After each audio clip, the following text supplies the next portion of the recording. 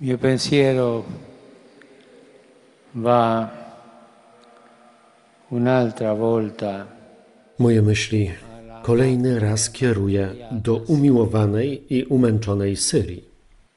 continuano a giungermi notizie drammatiche Nadal dochodzą do mnie dramatyczne informacje o losie ludności Aleppo, alle quali mi sento unito nella sofferenza attraverso z którą łączę się w cierpieniu przez modlitwę e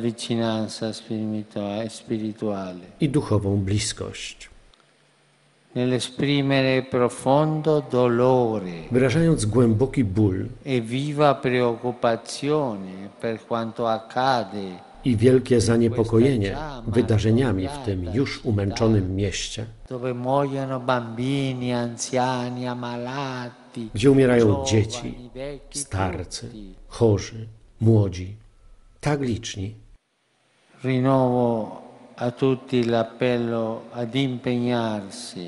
Ponawiam do wszystkich apel o zaangażowanie wszelkich sił w ochronę ludności cywilnej, co jest stanowczym i pilnym obowiązkiem. e appello alla coscienza dei responsabili dei Zwracam się do sumień odpowiedzialnych za bombardowania, którzy odpowiedzą za to przed Bogiem.